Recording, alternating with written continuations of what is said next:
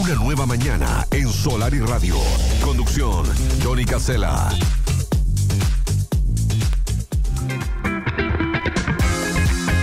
Amigos, estamos en las 10 de la mañana, 58 minutos, y vamos a hablar de una actividad que vamos a tener el próximo fin de semana. Ayer les adelantábamos algo, tiene que ver con el Día Internacional de los Tiburones, que se lleva adelante en Casa del Mar. Está Andrés Estrades, que es el director de Carumbé, de la ONG Carumbé, para hablarnos de esta actividad. Bienvenido, Andrés, un placer recibirte aquí en nuestra casa para hablar de, la importancia que tiene esta actividad para el día domingo, donde, entre otras cosas, va a haber realidad virtual. Contamos un poco todo, de todo. Buen Johnny, buen día, Johnny, buen día a toda la audiencia.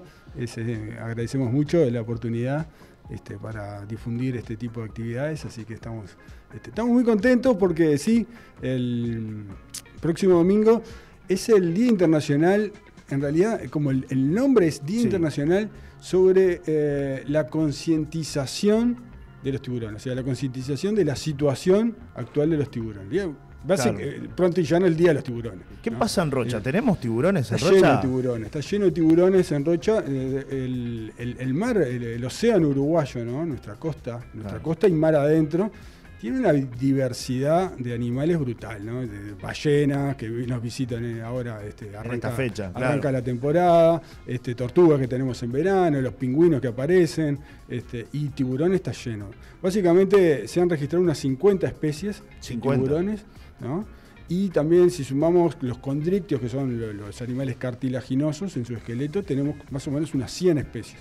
Aquí en, Uruguay. En Uruguay, las quimeras, las rayas, los chuchos, bueno, muchas especies son bastante comunes en el, imaginario del rochense, del palomense, de, estar en la costa viéndolas, a veces algún pescador las pica, ¿no? Este, y también hay un consumo, ¿no? Este, de, este, a nivel de alimenticio, ¿no? Uno menciona la, palabra tiburón y lo primero que se te viene a la cabeza es la película Tiburón. No tiene nada que ver lo que vemos en la película con lo que pasa en nuestras costas, ¿no? Para los veteranos, en realidad, porque en realidad a, los gurises les decís tiburón y, ya tienen otro imaginario. Tienen otra conciencia. Este, otra, otro, otro tipo. Y tampoco no creo que los vean tan peligrosos. Claro, claro. Este, entonces, eh, está bueno esto de, tener un día especial para, para exaltar. Y también el imaginario, porque agarrás a los gurisitos más chiquitos y, para mí el tiburón y los dinosaurios están ahí, cabeza a cabeza, ¿no? es como... en el ranking, digamos. Hay fanáticos, he conocido grises fanáticos de los tiburones, ¿no? Que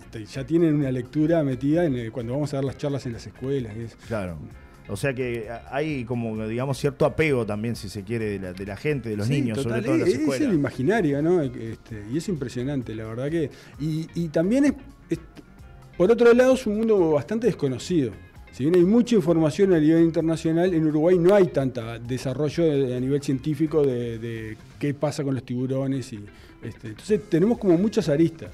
Una arista de, investigación cultural, una arista de conservación, ¿no? y también este, una arista cultural a nivel del arraigo, ¿no? del sentido de pertenencia, este, por ejemplo, en, la, zona costera, de, en los diferentes pueblos de Rocha.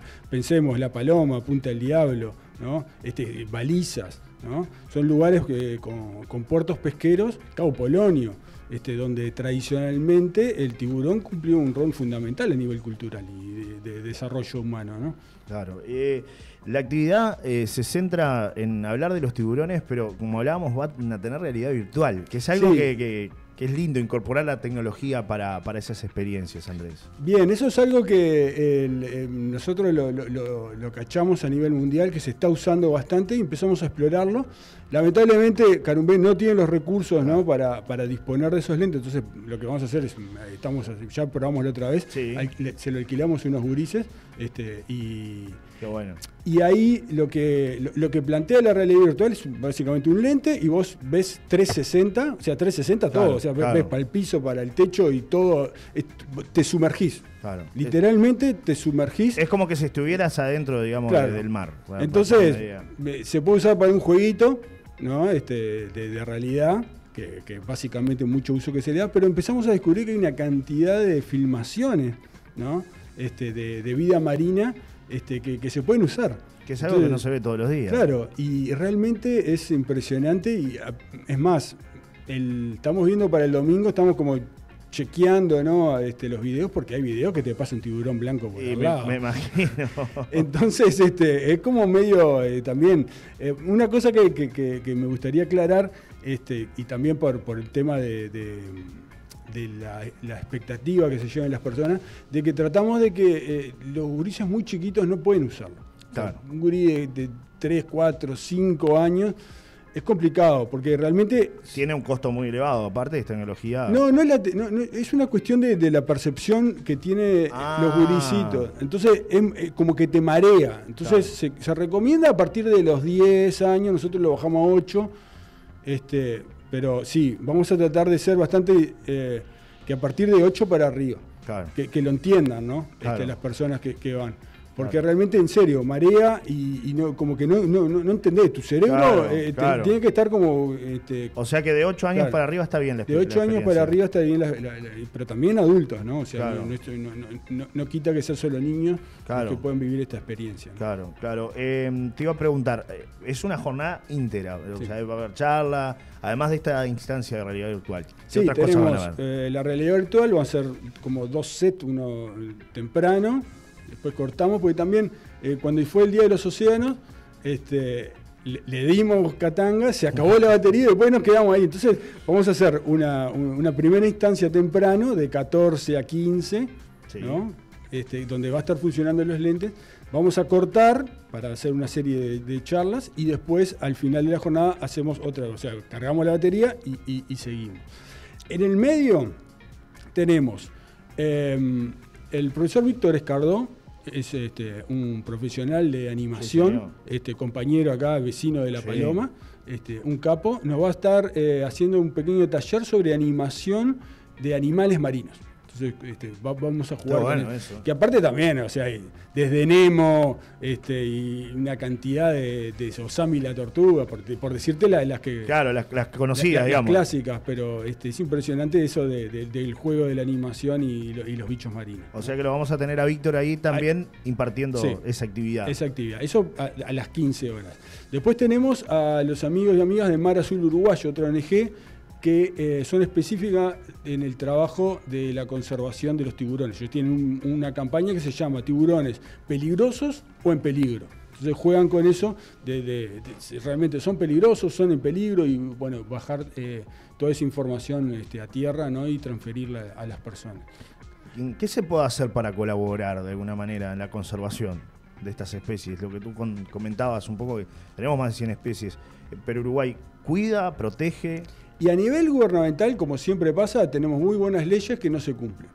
Entonces, este, y después también hay, hay un gran tema con la pesca artesanal, ¿no? Y sobre todo la pesca industrial también, ¿no? Este, que, que tienen especies eh, objetivo y especies no objetivo, o sea, o, o de, de- que se llama de pesca incidental. Sí. ¿no? A veces muchas de esas especies de tiburones quedan sin querer ¿no? y se mueren en cubierta. Entonces también hay, hay que hacer un trabajo con, con este con, con el personal de pesca, ¿no? los, los marineros y los pescadores en, en- en los barcos para tratar de, de- de empezar a detectar eso.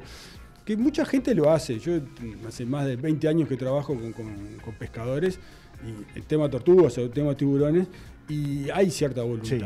Entonces, y, y lo- pero pasa que tiene que nacer de- del propio pescador, de, de- de ver que el bicho está agonizando en cubierta y, ta, y cazarlo y tirarlo, al mar, claro. rápidamente. Entonces ahí este, evitas una muerte innecesaria.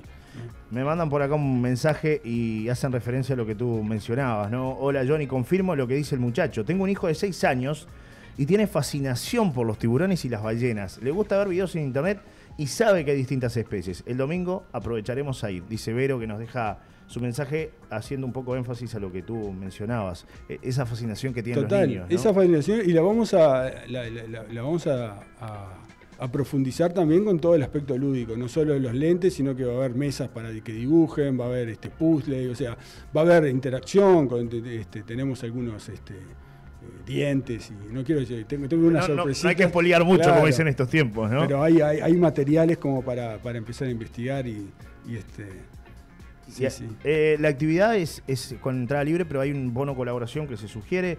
es mínimo. Para lo que es la actividad realmente son 50 pesos lo que, lo que están este, pidiendo como, como colaboración, de, como bono colaboración para aportarle a la, a la es para, ONG, es ¿no? para cubrir el, el- básicamente el, el alquiler del, del aparatejo este. Claro, claro. Así que. Pero la entrada es libre y... El que, el que no sí. tenga no pasa nada. No, o sea, se y, y otra cosa este, linda, interesante, eh, tenemos, vamos a estar, eh, va a estar Sally Pitanga con Lorena apoyando el evento y vamos a servir un vasito de chocolate caliente Oh, también bueno para eso. calentar el, el- el sa- ese domingo que parece va a estar bien, pero está, está- está fresca la cosa. Claro, con, con respecto a la, a, la, a la actividad es muy importante señalar que lo que tú decías, que no es solamente para niños, es para toda la familia, para Sí, grandes chicos. Sí, sí, la idea es eso, es que Día del Padre, almorzamos este, y después este, un- un- una vuelta por Casa del Mar ahí en la tarde, este, disfrutamos de los tiburones y este, hasta las 6 de la tarde, cosa que Va. baja el sol y nos guardamos. Ahí sí porque va a estar frío, ¿no? Entonces, este, después hay que, hay que guardarse, como tú decías. Eh, ¿Cómo está funcionando Carumbe, Andrés? ¿Cómo, cómo- Bien, cómo están estamos- trabajando? Y estamos ahí, este, ahora en un proceso, yo siempre digo, en invierno es, es como la tortuga, hibernamos, ¿no? Hibernamos, Claro. todos. Este, entonces eh, es un, un momento de mucha planificación, de- de- de búsqueda de fondos, de escribir este, propuestas, ¿no? planificación. Estamos con básicamente con todo el foco en allá en la coronilla, nuestra base este, histórica, eh, que necesita unos arreglos. Entonces estoy ahora en un proceso de mm, tratar de conseguir un. bueno, te- tenemos unos fondos de- del Ministerio de Transporte y Obras Públicas, bueno, que- lo mismo que con lo que se reconstruyó Casa del Mar. Sí. Bueno, eh, los convencimos de que nos ayudaran para, para allá, para la coronilla, entonces vamos a armar ahí un- todo el espacio de rescate y rehabilitación de tortugas a nuevo, lo cual se suma al museo nuevo que, que habíamos logrado el año pasado, así que viene, viene linda la cosa. Claro, es importante esto, señalar que ustedes este, muchas veces trabajan sin fondos, que no tienen fondos para poder funcionar, sin embargo lo hacen igual. Tú hablabas, este, lo, lo comentábamos fuera de aire, eh, ya les ha tocado vivir ahí momentos donde de repente el apoyo económico no está, pero sin embargo ustedes siguen trabajando, siguen dando el servicio, este, trabajando con las tortugas de una manera voluntaria o con distintas especies, porque no solo tortugas a veces hay en Carumbé, ¿no?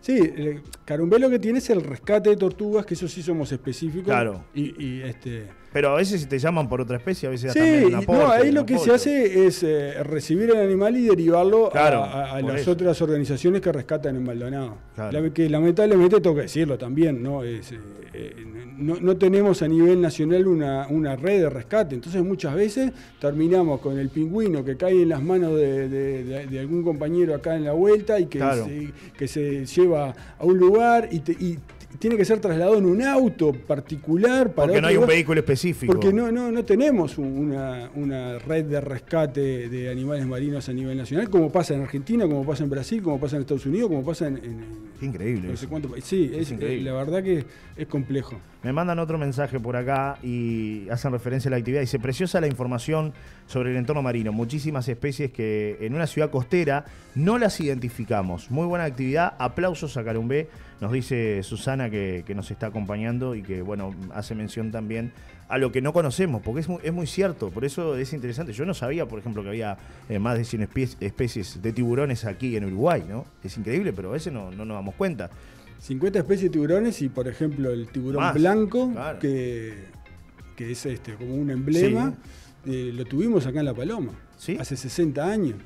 Hubo, Ah, algo- hubo pesca de tiburón blanco en La Paloma, en, este, en, en balizas, este, y después desaparecieron. También son esos misterios de que no sabemos por qué no hay más, Claro. este, pero podría, podrían volver. Claro, claro. ¿Por qué razón no hay más, no? ¿Por La- qué la- razón la no? pregunta. Y pero- después te vas un poquito más adentro y bueno, con toda la experiencia que tuvimos con las expediciones de National Geographic, los tiburones te, te metes 50 millas más adentro, que son más o menos como 100 kilómetros en, en- en- Sí. en una referencia, y está lleno de tiburones. Acá cerca. Lleno de tiburones. Te pasan por al lado de los tiburones. Es impresionante. Claro. Uno tiene, tiene enseguida lo que, lo que yo te contaba, ¿no? Este, la idea que te queda es que los tiburones. Hablamos de tiburones y hablamos de peligro, pero no necesariamente hay que hablar de tiburón No, peligroso, y- ¿no? Sí, sí, no, y aparte, digo, me, me pasó en mi experiencia personal el, el- el tiburón azul o tintorera, que es un, un animal que se considera de los tiburones más peligrosos, ¿no? Del top 5 de los tiburones y, y pasaban como perritos por Al lado. lado del bote. Y, uno estaba así y me decía, ¿lo acaricio o no lo acaricio? Pero a, este- a ese punto de, de nivel de proximidad, ¿no? Claro. Este, Claro, hay que contarle a la gente, para, el que, para el que no lo sabe, que ustedes participaron de, tú particularmente participaste en una expedición con la National Geographic, que eh, lo mencionaste, estuvo realizando este, aquí un, un documental del cual este, fuiste parte de esa expedición, que fue una, una experiencia Sí, maravillosa, eh, ¿no? No solo documental, sino también una- un informe técnico eh, para que, que fue elevado al gobierno nacional para eh, detectar los lugares específicos de mayor biodiversidad marina con fin de eh, buscar eh, niveles de protección, o sea, básicamente este, tratar de, de preservarlos a futuro. una, una experiencia inolvidable, ¿no? Por lo que Totalmente. comentabas, además esto que también se te Sí, dio la sí. oportunidad de, de estar ahí trabajando de una Sí, sí, manera... desde el aporte del granito de arena hasta la vivencia personal de, de estar en un lugar que es. O sea, el- el- el- el- a la gente que le gusta el mar es este. Sí. eh, el- la navegación es hermosa, ¿no? Es una cosa. ¿En qué quedó ese vínculo? Bien, eh, estamos en contacto con National Geographic. Este, no hay fondos, pero bueno, Bueno. eh, por lo menos este. Y se conoce un poco más del mar uruguayo también, sí, ¿no? totalmente. de alguna Totalmente. manera. Así que bueno, es, es interesante. Recordar entonces la invitación, Andrés, para este próximo domingo, Día del Padre, como tú Sí. señalabas. Domingo 14, de las 14 horas, de las 2 de la tarde hasta las 6 más o menos, 5 Ahí y va. media, 6. Este, vamos a estar en Casa del Mar, em, actividad libre y gratuita, este, con actividades este, con charlas, con esta realidad virtual, con bien un, un ambiente familiar y para disfrutar un poco entre todos y todas los tiburones de Uruguay. ¿Algo más que quieras comentarnos? No, eh, bueno, agradecer obviamente que esto no es una actividad sola de Carumbé, Sí. sino que está el, el municipio de La Paloma involucrado, está el- eh, la ONG Mar Azul este, también este, involucrada en la organización, bueno, nuestro amigo Víctor que va a participar, Claro. este, Sally Pitanga que siempre apoya, Sí. entonces este, creo que es una actividad que, que- que reúne, que, que demuestra lo lindo de, de trabajar en conjunto. ¿no? La sinergia que se genera en estos eventos, ¿no? De todos aportamos un poco y, y se, se van realizando estos eventos con la voluntad de todos. Es Exacto. importante. Ojalá que se sigan este, desarrollando este tipo de eventos, que se contagie también en nuestra comunidad, el juntarse para armar Exacto. distintos eventos, ¿no? Gracias, de verdad, Andrés, una vez más por estar con Gracias, nosotros. Johnny. Gracias. Saludos a la audiencia y los esperamos el domingo. Esta entrevista la pueden volver a ver. Este, los que la vieron, la vieron en Canal 8 en vivo, este, en el cable 8, en el canal Solar y Radio en HD. Y los que no la vieron o la quieren volver a ver, en unos minutos va a estar ya disponible en nuestro canal de YouTube. Pausa, ya volvemos.